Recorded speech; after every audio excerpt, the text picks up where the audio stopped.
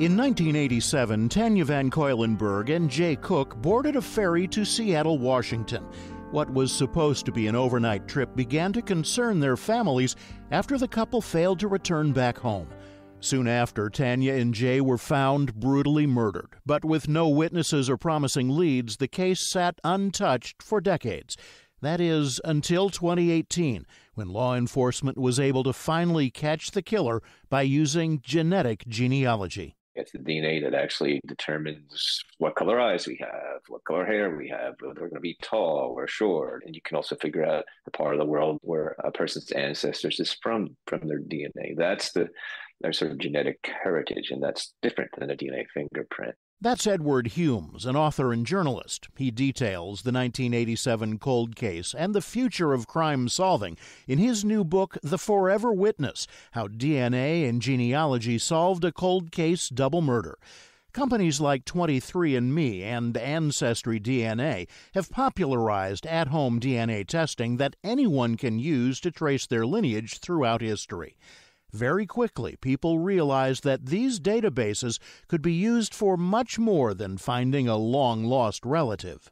With this DNA tool, this genetic genealogy became not exactly child's play, but it opened up all those doors also for abandoned babies who didn't know where they came from, for amnesiacs who couldn't recall who they were.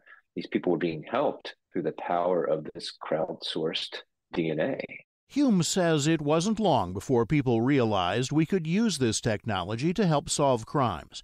It may not get matched with the killer, but finding a relative can be a crucial step to solving the case.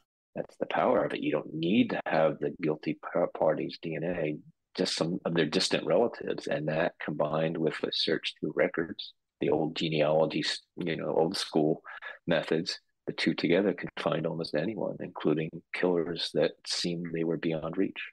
This revolutionary technology's first law enforcement debut was just five years ago when it caught the Golden State Killer. Humes says that first attempt took multiple months and millions of dollars. So what I thought then was what everybody thought. Oh, well, this is cool, and they solved this big crime, but it's not like this is going to be useful in more than a handful of cases. It's too expensive. It's too much manpower. And then immediately another case broke, and it's where I happened to be living at the time in Seattle, in that area, and it was this double murder that became the heart of my book because that wasn't a moonshot level. It happened really fast, and the genealogist who did the work, CeCe Moore, two hours after she got the go ahead to do the case, she had solved it. A 31 year old mystery that had baffled generations of detectives. She did in two hours for free. It didn't cost the police anything. And that was when I realized this isn't just a, you know, a one off. This is the future of criminal investigation. CeCe Moore is the chief genetic genealogist at Parabon Nanolabs, a DNA technology firm. Before dipping her toe into crime solving, Moore used genetic genealogy to help orphans learn about their biological ancestry. I was involved in a lot of media, both news type shows as well as print media that described some of the cases that I was involved in.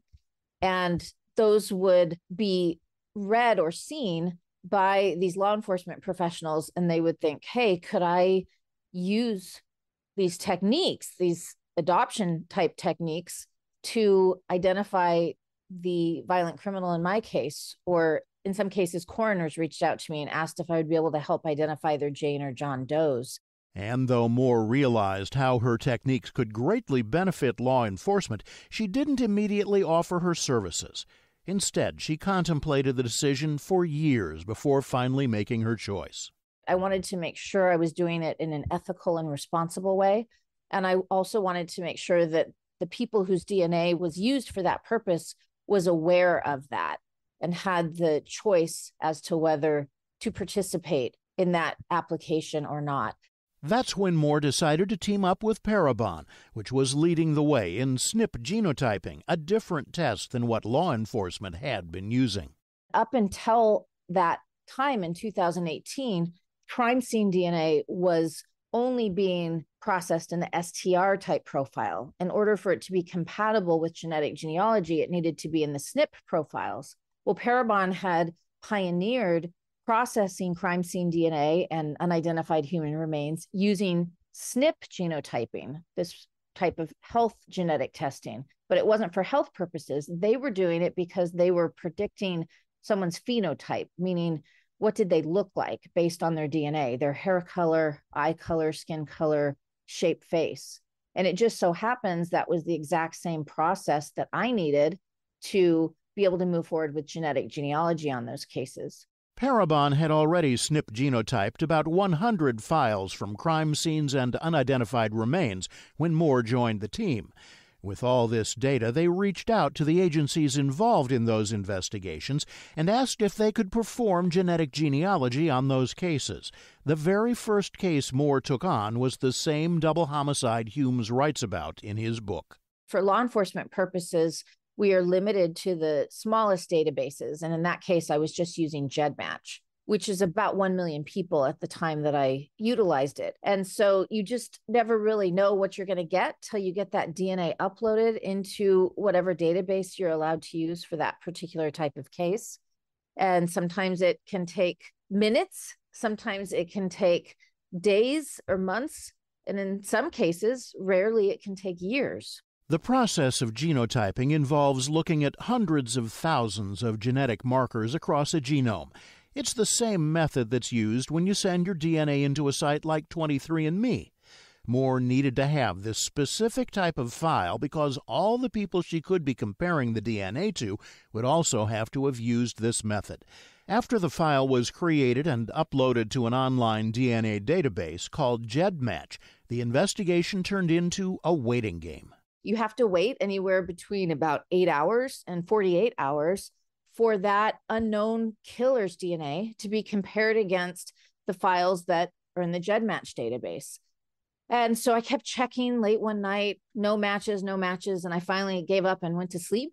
Woke up in the morning, immediately opened my laptop, checked that profile, and we had a list of matches. The list consisted of people that shared what Moore considers a significant amount of DNA with the unknown subject. In this case, the term significant even applies to matches that shared less than 1% of DNA, which is completely opposite of law enforcement database matches. They're looking for an exact match, someone who shares 100% of their DNA. And I'm just looking for people who share 1% or 2%. Moore is able to use such a large scope because it allows them to find distant relatives who may share just one segment of DNA with that match. She can find a common ancestor somewhere in their family tree. When looking into the murders of Tanya and Jay, Moore says she got super lucky with two matches of second cousins. And so, very quickly, William Earl Talbot II's name came to my attention. It was in probably less than two hours. This was the first case I worked for law enforcement, though. So this was a very heavy burden to know this name, to know the potential identity of these killers after 30 years. And I wanted to make really sure that I was passing good information over to Detective Scharf. So I spent the rest of the weekend vetting that hypothesis, playing devil's advocate, trying to see if there was any other explanation or I could be wrong. But by the end of the weekend, I was fully convinced that William Earl Talbot II was the DNA contributor to that crime scene and thus Jay and Tanya's killer. Moore says this first case solidified her future working with law enforcement. Since 2018, she's worked on hundreds of cases, using genetic genealogy to find the guilty.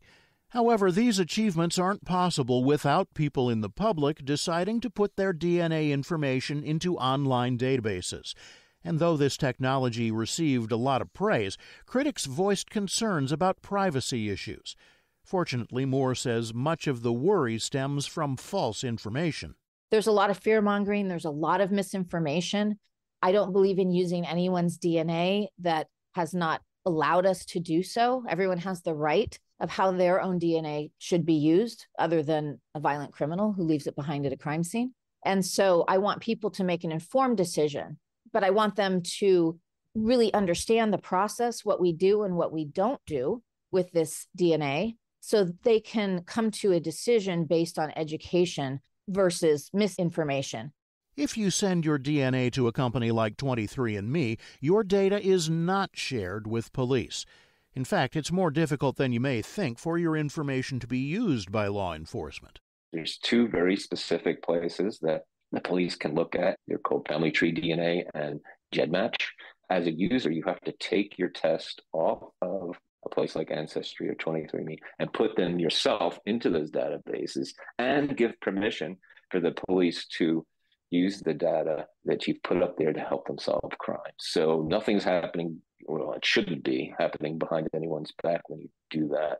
And you're further protected because the only thing the police see when they get a list of individuals who might be distantly related to their crime suspect is a name and an email.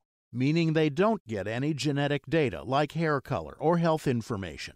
In fact, Moore says that most of her investigative work is actually done after the genetic genealogy test. My time is mostly spent in public records doing research. And so it's, I think, much less concerning as far as genetic privacy than most people realize. I often tell people that the genetic part of it is very small. If they're worried about privacy, they should be thinking more about what they're putting out there in the world about themselves and their families. It's very common for me to use social media to piece these families back together and learn who's related to whom. And that is where I get a lot of more personal, private type information. And even though genetic genealogy gained publicity through solving cold cases, Moore says it's now evolved into a helpful tool to catching the bad guys in real time. The Forever Witness is available now wherever books are sold. You can find more information about Edward Humes, CeCe Moore, and all of our guests on our website, radiohealthjournal.org. Our writer producer is Kristen Farah. I'm Reed Pence.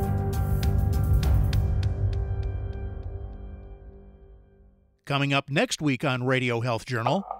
They never once came back and said, I'm sorry, there's nothing else we can do. You could almost see it in their eyes sometimes like, we've got to try something else. We've got to get another solution. How creative doctors saved a life. Then how can you be more productive while you sleep? It's just a very unique state of consciousness to be seeing a completely hallucinatory world around you and yet know that your mind is creating this rather than that this is physical reality there. All that and more on Radio Health Journal.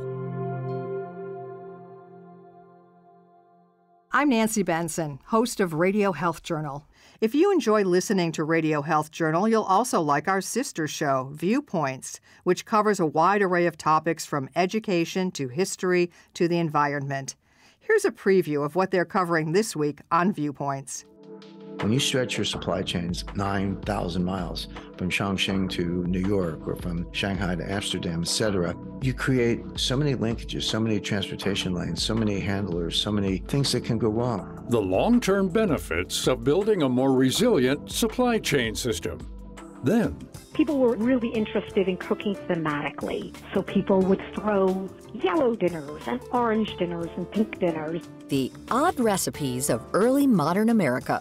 I'm Marty Peterson. And I'm Gary Price. These stories in depth this week on your public affairs magazine, Viewpoints. Listen to Viewpoints on your favorite radio station and subscribe and listen to shows anytime on Apple Podcasts and Google Play.